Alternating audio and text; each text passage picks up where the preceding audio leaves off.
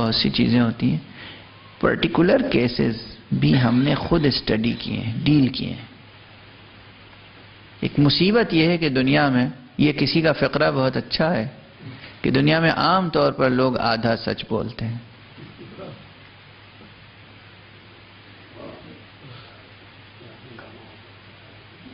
दुनिया में आम तौर पर लोग आधा सच बोलते हैं। जो लोग आते हैं अपने अपने मसाइल लेकर, चाहे वो रिस्क और रोजी की परेशानी हो, चाहे कोई भी मसला हो, वो इस तरह अपने मसाइल पेश करते हैं कि आप बिल्कुल दिल आपका पसीज जाए, दिलसोजी पैदा हो जाए। और आप समझें कि ये तो बहुत ही महरूम शख्स है, बहुत ही बहुत ही मजलूम शख्स है, ये तो किस्मत का मारा हुआ है इसके साथ तो कायनात भी जुल्म कर रही है और खुदा ने भी नवजुबिल्ला जुल्म किया है। ये इससे बड़ा कोई मजलूम हो ही नहीं सकता। वो आधा सच जो छुपा हुआ है, वो नहीं बताता है। मेरी मजबूरी है कि मैं जब किसी मसले को डील करता हूँ तो फिर फ़ील्ड स्टडी भी करता हूँ। छुपी हुई हैं बहुत सी। ये छोटे से सीने में बहुत सी चीज़ें छुपी हुई हैं। बहुत से केसेस हमने डील किए। पर्टिकुलर केसेस एक शख्स को। जब मैं मदरसे में पढ़ाता था, मदरसा कायम किया था हमने तो मैं फ़ख्र से कह सकता हूँ हक सुबहान हुआ ताला के सामने कि मैंने अपने तालब इलमों के साथ उस तरह सलूक किया है जैसे कोई अपने औलाद के साथ करता है।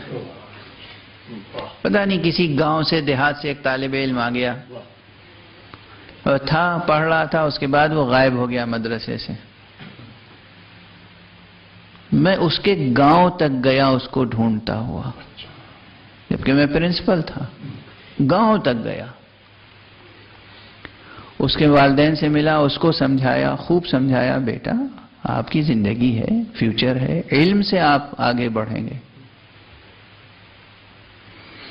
वो आया, फिर भाग गया, फिर जाके उसे लाया मैं।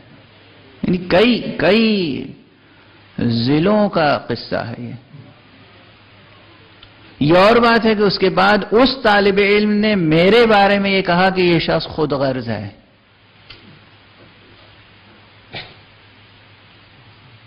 वगैरह वगैरह।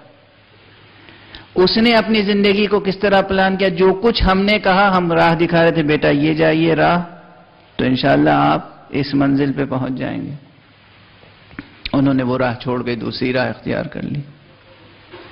पहले कह चुका था कि इस राह पे जाओगे तो हमेशा हाथ यूँ रहेगा, यूँ नहीं रहेगा। वो गए उसी राह पर जिसपे हाथ यूँ रखना था।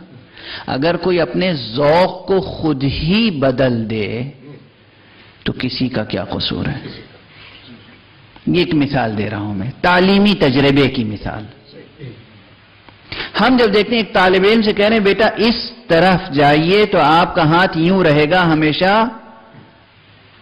और इस तरफ़ जाएँगे तो आपका हाथ यूँ रहेगा हमेशा। मैं खुद बता रहा हूँ, फिर भी वो इधर जा रहा है। तवज्जो है?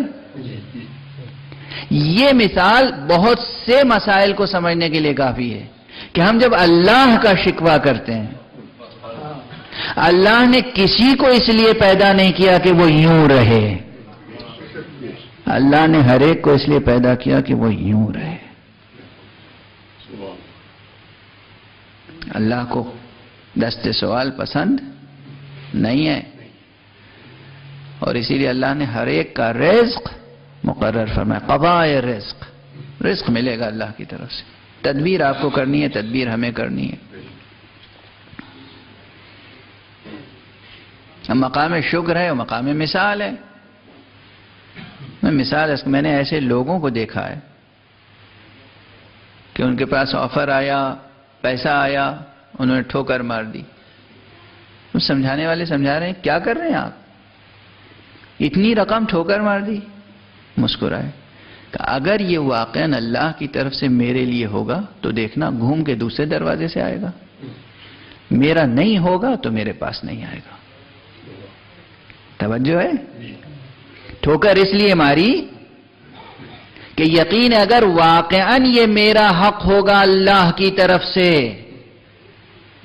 तो ये आएगा दूसरे दरवाजे से, तीसरे दरवाजे से, चौथे दरवाजे से, आएगा हमारी ठोकर में। हमारे पास आएगा। हमारा नहीं होगा तो नहीं आएगा।